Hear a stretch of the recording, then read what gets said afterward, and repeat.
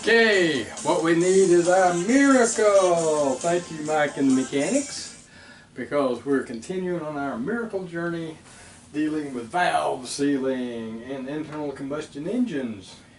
Video number seven, basic valve job, VJ for short. Everyone needs to know about VJs. Okay, so one, first thing, how do you know that an engine needs one? Okay, you can have all kind of symptoms like loss of power, smoking out the tailpipe. There are numerous causes, but is it the valves? Well, there's one way to find out if you need a valve job, and that is you test the sealing of the valves in situ. That means that with the engine completely assembled for the most part, you find your spark plugs, or spark plug, like on a lawnmower. You unscrew the spark plug and you screw in an inexpensive little fitting that matches the spark plug threads. And on the other end, it's got a female thread that you can put an air chuck into. You can take shop air, drag it over from the compressor, plug it in, charge that cylinder with pressurized air. Now, the secret to this is you got to have the piston on top dead center, both valves closed, or bottom dead center, which I prefer because the rings seal better down at the bottom because it's rounder, less wear. Then if it's at the bottom, if it's a overhead valve engine with rocker arms, you just release the rocker arms and it'll seal, and then you're sealing totally on the valves themselves. Okay, now if it's overhead cam, you have to do it at uh, top dead center because unless you'd have to take the cam out to relieve the uh, springs and and valves being open at bottom dead center. So without testing and numbers, we're just a bunch of people with opinions. Doesn't matter what your cousin thinks, what you think, what your mother thinks, it doesn't matter. You got to have a number. Okay, so test the sealing in situ. Now, I said you need a number. Um, sort of. Some testers have pressure gauges called differential pressure gauges. They're the best. We'll, I'll illustrate them on down the road on an actual engine, not in this video, but in subsequent ones. But if you've got the cylinder all charged up with air down here, all you have to do is get a short piece of tubing, insert it. Here I'm doing it directly into the head, but the exhaust pipe will do the same thing. Stick it in the exhaust pipe, whoop, and listen, guess what? If that exhaust valve's leaking, you will hear this. If it's not leaking, you might hear, and it's somewhere else that's leaking. Well, guess what? Go around, find the carburetor inlet, stick the hose in, open up the throttle so the butterfly's out of the way, listen. That was leaking. Okay, there we go. We can evaluate it quickly by just listening to the rush of air past the closed exhaust valve, if it is, because what's our target? Airtight. If you've got a rush of air past the exhaust valve in a closed position, you need a VJ. Just that simple. Okay. Whew. So you've tested sealing. Now, this thing you do, you, you disassemble and clean. What you're going to have on your valves, you're going to have carbon and combustion crud and you want to clean that off and you want to clean it off gently because the last thing you want to do on these precision machine sealing areas is to scratch them, cut them, damage them in any way by over aggressive cleaning on a powered steel wire brush. I use a soft bristle brass brush myself and Scotch-Brite pads with oil. That takes away the combustion crud. Then you can look and see what you have. Now, the heart of good valve sealing, the foundation, the heart and soul is the valve guide represented here. This is this pressed in insert that has a bore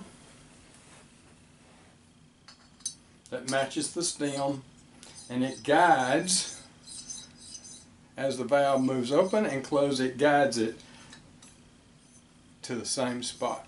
Now, what happens over time is there's a rocket motion from either a rocker or a camshaft pushing this valve open, and there's a vector, a side vector on this that creates side loading. So what happens is the guide itself eventually will wear oblong rather than round. So it will valve actually you can put it in and you can feel it tilt this way. You try to tilt it 90 degrees from that axis, it won't tilt. So that means you have a worn out guide. The valve guides must be either repaired or replaced. There is a repair called knurlizing. it, uh, it's short term. Best way, knock them out. Oh, actually have a machine shop press them out gently, but don't mess the bores up, and put in new ones and size them. It's just that simple. They're relatively inexpensive in the great scheme of things, and it's critical you do this at this stage. And it's critical because guess what? If your next stage is to check the sealing areas for pitting and trenching and damage, and if you they have to be remachined or replaced, you need a nice accurate valve guide because you're going to have to do cutting and grinding to reestablish those contact areas. And if you got a worn out guide, well then the guide spindle, which is inserted into the valve guide, and the cutting tool will go down and rest on the seat and start cutting. If the spindle is allowing the cutting tube to tilt like the valve was tilting, you are screwed, dude you will have a crapola valve job. You'll be probably worse off than you were. Okay, so good valve guide equals good uh, resurfacing if you need it. So, how do you see if you need resurfacing? Okay, here I have a representation of an intake valve side. Intake valves run cooler. They often have light speckling from maybe a little bit of pitting and corrosion or deposit buildup. It's usually very minor. Exhaust, on the other hand, can often have very deep pitting, even trenching to where the valve was opened here and exhaust plasma just blew right through there. And also the seat can be eroded, so you have to evaluate your condition. And you're going to find you in one of three stages.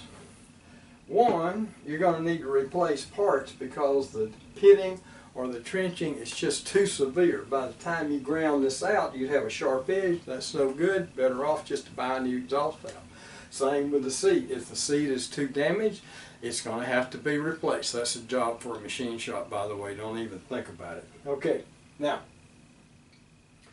then, but if it's just normal light wear and tear, you can blue the parts, that means the uh, sealing areas, with bluing. Now what I use is, we used to call it Prussian blue for marking parts in the machine shop, scribing lines for machining. But guess what? The modern uh, Sharpie pen with permanent uh, indelible markers work really well. I take this thing and I make it blue, the sealing area, all the way around, do the same thing on the seat, insert the valve in, press on it, squeeze it back and forth and see where the, the blue dye rubs off. That's your contact trail. If it, if it doesn't want it to um, reveal itself quite well, you might put a light dab of very fine lapping compound that cut through it, but you want to reveal that trace to make sure you have an even band all the way around that's centered in the, uh, or, or, or is concentric with the sealing area, not off to one side. You'll find out that in trying to seal valves that if you've got something creating an oval like a tilting valve or a crooked seat, well, ovals and circles don't seal real perfect against one another, do they? The geometry just does not allow it. So, you evaluate what to do, replace parts, resurface the parts, and resurfacing means cutting or grinding. We will go over that hardware in a subsequent video. Or maybe you just need a little lapping only where you take a very fine paste you dab it on here, you insert the valve, you twist it back and forth in a prescribed manner, and that cuts away all the little varnish and combustion products, and you have a nice fresh surface. Now, and you want to bring that surface, you lap it to an RA of 10 or better, meaning a lower number than 10, no worse than that. And that's what you need to get a good seal. And before you put everything back together, guess what you need to do? You need to bench test it. Otherwise, you put the thing together and you charge up the cylinder and test it then. You've done all of that work and you listen with your little hose. oh, it's not sealing it. Ah. So you have to take all that apart. So you need a way to test it on the bench. Now, If you do this kind of crap all the time, like an automotive machine shop, they generally have a vacuum tester that they've either built themselves or they bought from commercial tool suppliers.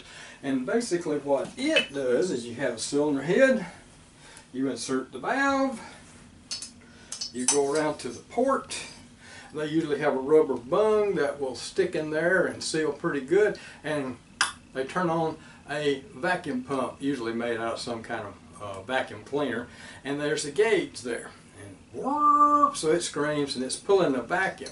Now, if the gauge goes all the way over to 100%, guess what? You don't have an air leak. If the gauge goes to 90%, you're leaking 10%. Ah, and they can do that. It's dry, non-messy, and they can quickly go by just moving the bung from one port to another, and they can check a cylinder head quickly, efficiently, make money. Okay, now for the guys and girls and myself, because I'm cheap, I don't want to go to all that trouble to build a machine like that. I do it the old-fashioned aircraft way, and that is with the valve installed, sometimes with a very light spring, hold it, guess what it'll do? We will pour gasoline, I will pour gasoline into this, enough to cover the valve by at least an inch, inch and a half, and then I set it resting and I wait. If it'll hold that gasoline for two minutes without leaking and dripping, good to go. Gasoline has very low viscosity. Water doesn't work by the way. You want to use gasoline because of its low viscosity. It will find a way and wick through that joint. And after two minutes, it's dry, you're just as good as that vacuum test, guarantee you.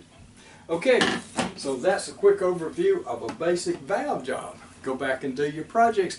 Next time around, we're going to talk about a non-basic valve job, high performance valve job. All right, looking forward to it. See you then.